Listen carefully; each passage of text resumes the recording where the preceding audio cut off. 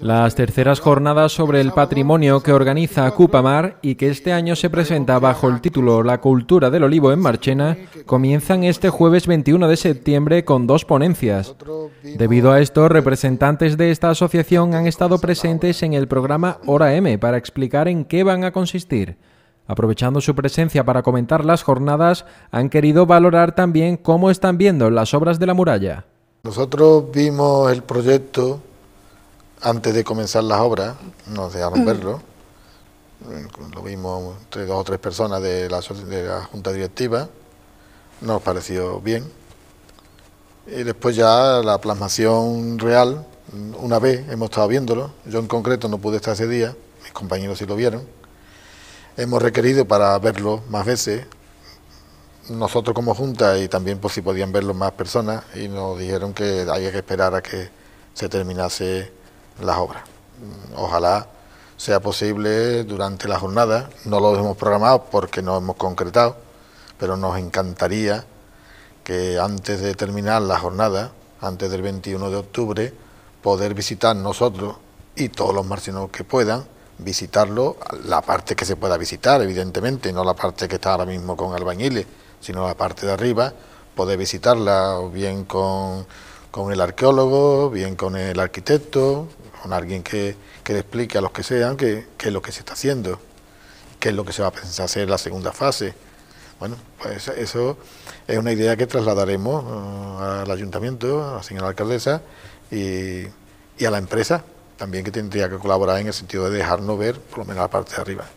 La idea que le comentan desde el ayuntamiento es que la obra no pare y se comience inmediatamente con la segunda fase. La segunda fase, según lo que nosotros nos dicen, está el proyecto en fase muy avanzada, la subvención, la petición, y la idea del ayuntamiento, por lo que nos cuentan, es que la obra no pare. Ojalá sea así. Ojalá están avanzando ya hacia donde se pensaba que era el final de, esta primera fase. Después allí hay una serie de naves que se supone que tendrán que ser expropiadas, que no sabemos si realmente están expropiadas o no y, continuar la obra. Si de verdad no se para, es decir, que la primera fase y la segunda se solapan, sería extraordinario. Habría que llegar ya, diríamos, casi al antiguo convento de Campusinos, que, era el antiguo matadero. Y, ahí estaría también el final de, la, de, la esquina, una esquina de palacio. Sería estupendo que, que llegásemos allí. Mañana a partir de las 7 de la tarde será la inauguración del acto, con presencia de autoridades de distintos ámbitos. La inauguración es con presencia de las autoridades y la señora alcaldesa estará presente, eh, así lo ha confirmado, y esperamos una visita también. También nos han llegado rumores de que va a venir una autoridad, de autoridades de la Delegación de Cultura de Sevilla, posiblemente sea Juan Luis Rabé, que está aquí, y, y después de la Junta de Andalucía. en el Instituto, del Instituto Andaluz de Patrimonio Histórico. La primera conferenciante mm, estará también en la inauguración, eh, una autoridad dentro del Instituto Andaluz de Patrimonio Histórico, Gema Carrera. Y bueno, nos han prometido que van a venir, pero no diríamos de manera oficial, inclusive pues, puede que esté el director, el director de la Biblioteca del Aceite, que se inauguró en el pasado mes de mayo en Antequera a nivel de Andalucía, un catedrático de la Universidad de Málaga. Quieren un acto sencillo y que sirva de homenaje para Ramón Luna. Por tanto, mm, creemos que sea un acto sencillo, la inauguración, el acto inaugural. En el transcurso de ese acto, bien en un momento al terminar ese pequeño acto oficial o bien en el intermedio, queremos hacerle un, un homenaje a nuestro, a nuestro compañero fallecido recientemente, Ramón Luna. ¿Eh? Se invitará a los familiares para que recojan un, presente, haremos ese recuerdo y ya daremos paso seguidamente a, a las ponencias. Pepe Díaz Luque comenta el por qué se ha elegido el patrimonio etnológico para las terceras jornadas. Marchena es Marchena de los Olivos. Es decir, que desde, desde el tiempo de los fenicios, como vamos a ver en la exposición que se inaugurará próximamente, eh, aquí tenemos el olivar es, diríamos, el cultivo típico, aparte del cereal, de la trilogía mediterránea, la vid está poco presente y de esa trilogía nos queda el trigo y el olivo. Y como planta, como árbol, es el único. Cuando uno visita, si ve árboles, el árbol que ve es el olivo. Por tanto, la tradición marchenera en cuanto a, a vivencia, a vivir y a trabajar, es el olivar. Lo que pasa es que como lo tenemos tan, tan presente, no le damos la importancia que quiere. Cuando uno visita los campos, ve, torres en muchas haciendas, en muchos... Eh, cuando ve el pueblo, ve en San Agustín una torre allí, no la torre de la iglesia, sino ahí en la calle de San Agustín otra torre. Cuando mira ahí enfrente de, de la venta San Pedro, mira hacia, hacia la derecha y ve ahí otras, otras dos torres.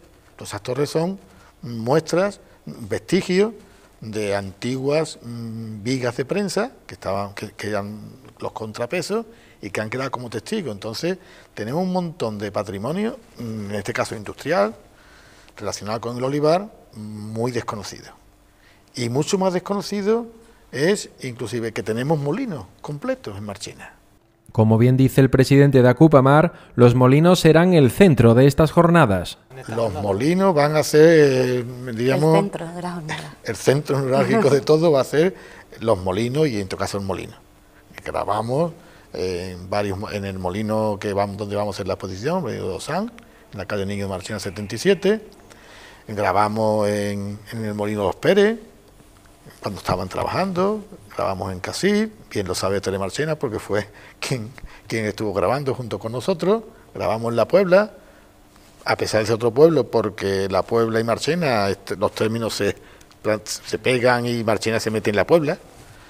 Y entonces y, muchísimos marcheneros que tienen propiedades de olivo llevan la aceituna allí, los grabamos allí, una masa muy, muy moderna. Hemos elaborado un documental que no será el único, es un avance de, una serie de documentales de cada uno de los molinos nuestros, ¿no? Y entonces el molino va a estar muy presente. Tenemos un molino que el, 75% de los marcheneros, por no decir más, desconocían y desconocen cuando se dice, vamos a ver un molino. ¿Un molino dónde? Pero hay un molino. Y efectivamente, sí hay molinos en Marchena. Estos son algunos de los que existen en nuestra localidad. En Marchena ciudad en Marchena ciudad, completo, completo, mm, y que no funcione, porque el de Molino Pérez funciona. Lo que ya no tiene las piedras, las quitaron en su momento. Eh, Casi tuvo su molino hasta el año principio de los 90, conserva las piedras, pero las tiene allí almacenadas, las tiene ya otro sistema de producción. El molino de Osan es que está completo y tal cual. Es están las piedras, las máquinas que lo echaban a andar, las poleas, las prensas, dos prensas y una de ellas inédita, porque no la hay, mm, por lo menos en todo lo que hemos visto nosotros, en todos los estudios realizados, pues no, no hay ese tipo de prensa, una, prensa de plato, la zona de tinaja, el patio donde, donde se recibía la aceituna, la lavadora, está completo. Sabemos, sabemos que hay otros lugares que tienen parte, o gran parte. Eh, ahí en frente a la venta San Pedro, la de Miguel Moreno, sabemos que ahí no solamente hay torres, dos torres, y sabemos que hay prensa y posiblemente molinos. No sabemos en qué condiciones, porque no lo hemos visto. Hemos visto y lo hemos comprobado cómo hay un molino en Vista Alegre, hay un molino. Después en la Cobatilla hemos ido y hemos grabado, está también completo, está fuera del pueblo. La, hacienda de la Cobatilla tiene el molino completo también. La rueda de molino, la prensa, eh, los, los, trojes, la lavadora, así que tenemos un patrimonio mm, sobre todo desconocido. Y, lo más grave es que no está, se está perdiendo, pues se han perdido un montón de molinos, porque nosotros vamos a poner ahí un panel, uno de los paneles es mm, el estudio, saber identificar los lugares donde había molinos dentro del pueblo.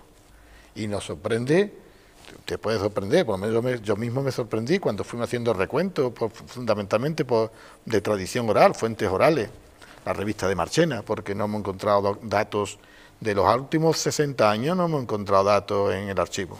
estarán seguramente, pero no lo hemos encontrado.